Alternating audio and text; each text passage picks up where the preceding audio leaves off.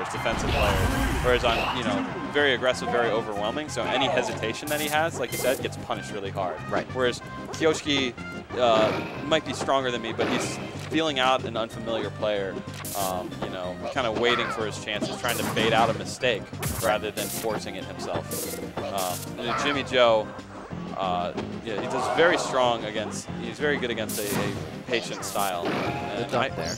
But I think Paco's tends to be a more aggressive player, if I'm not mistaken. We'll see how that plays out.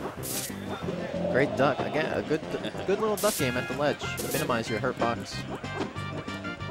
Yeah, you see Paco just kind of pushing space, uh, pushing Jimmy Joe closer to the ledge, and Jimmy Joe ran out of space. Didn't know what to do there. And it's so hard, and so uh, another missed angle at that, missed grab at that angle.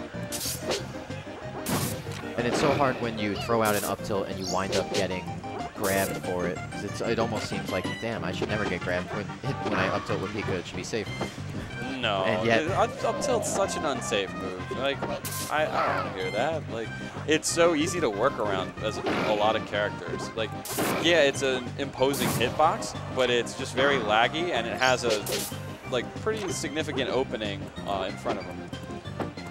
In front, Yeah, like the the, the up tilt, it you know Starts in the it, back. It's yeah, it, it pokes in front, but you can uh, you can weave aerials around it. It's a good strat in the Pika Ditto. Somebody goes for an up tilt, you can poke a back air uh, in the opening.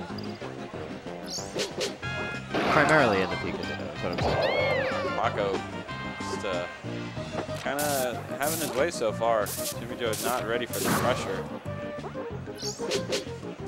Covering, cancel. he kind of covered low, gave Paco high for free. Anti-air, forward air, and back air. Jimmy Joe takes that first stock. Hey. Oh, all right. Uh, Paco's been going for these uh, hard read F smashes.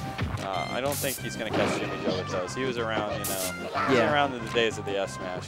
It has paid off a little bit in that it's forced Jimmy Joe to recover low, Right, right, yeah. but I, I, it's a strat I first noticed, uh, especially from Kiro. Those F smashes. ooh, fast fall suicide though. And yeah, that uh, you had a strong lead, and now you're just sitting here with some percent. You can't just SD like that. Great, Wow. great space. Great job by Jimmy Joe to immediately throw out that grab. Goes for a hard read up smash, doesn't get it. He hasn't been getting his combos as is. Like, don't go for the, the up smashes. Duck, crouch cancel. Single hit, or single up B, but did he land? No. Like, And another Paco throws out another, probably ill-advised forward smash.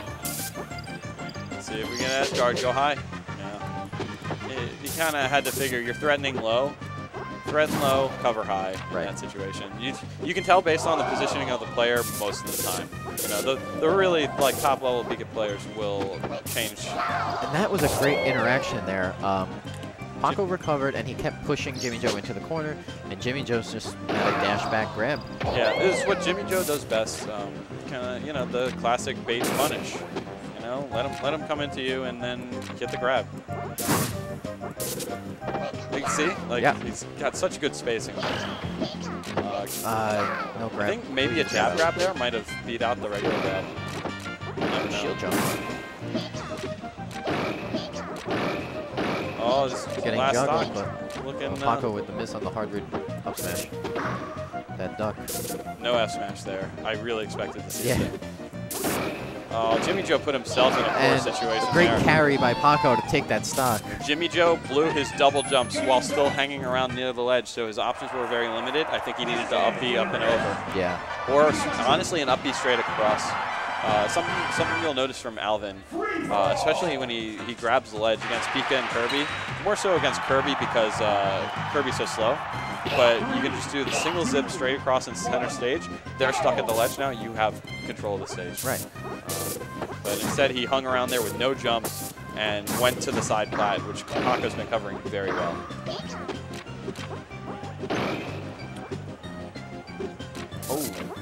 Good spacing for both of them. Uh, narrowly missing. Turn around back here. No F smash. Great ledge cancel. The tail end of that back. Uh,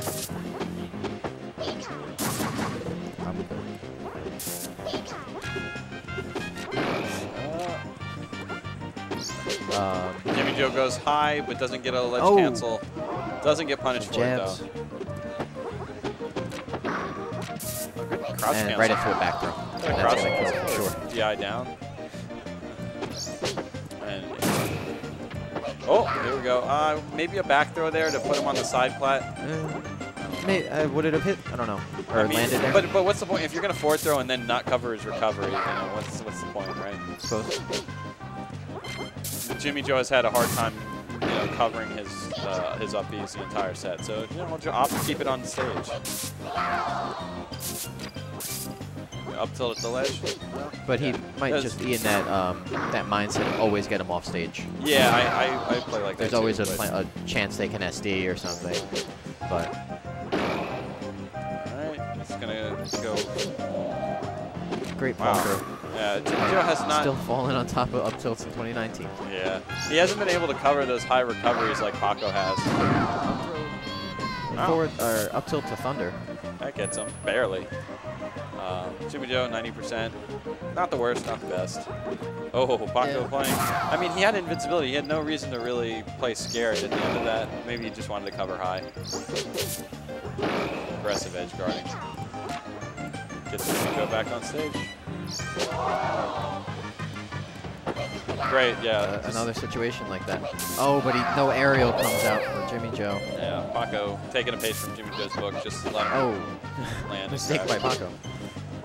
Jimmy Joe goes for a very hard up smash. Paco uh, playing fast, playing strong now. Jimmy Joe's running out of time. Oh, just little narrowly missed. And these trades, back air trading with up tilt, you know, every bit of percent that Paco gets gets him closer to the, the victory. Oh! And he went for an up smash. I don't know if that would have been enough for a uh, down B kill. No, probably Probably not. not, yeah. The animation was out and everything. Great coverage from Paco. And A solid recovery, but Gets his jump back. He landed. but he's just getting Straight thrown across. around, thrown around. All right, he just opts for the ledge. Uh, he's had a hard time getting back in this position. Actually, he gets it this time. Poor, poor Finally a back throw from from the middle of the stage. Not going to kill. Uh, a little too late from Jimmy Joe. He, he knew where he was going. He just uh, a little hesitation there, like like you said. Back Oh, throw is going to come for sure. I'd say that they're definitely each hunting for a back throw at that point. yeah. But Oh, interesting. Cover ledge. yeah, F smash, a risky choice. I was thinking of down air, but whatever works, right? Paco has had essentially two SDs on Jimmy Joe's last stock Oh, in both games. uh, maybe a back air into a, a nair on the shield to catch the shield hop. Tilt doesn't make it. Oh, he wanted That- another up air there to, to catch the. No, it's, uh, Ooh, very fortunate. oh, I- what is going on? Jimmy Joe really What is has, he has no business being alive right now. No, not at all. But He's gonna go high, but Gets a poor covered. recovery. He needs to get the, these ledge cancels if he wants to have a chance. Lorenzo gets the grab. Uh, back throw wasn't really gonna do much. No. He's not covering these recoveries very well. Paco's giving him all the time in the world to edge guard him. And Paco's playing the aerial game uh, pretty well. He's throwing out the approaching aerial. And That's probably going to do it, 99. Uh, Yep. Paco just He was throwing over. out a lot of aerials and retreating immediately, so Jimmy Joe wanted to go in for a dash grab or a follow.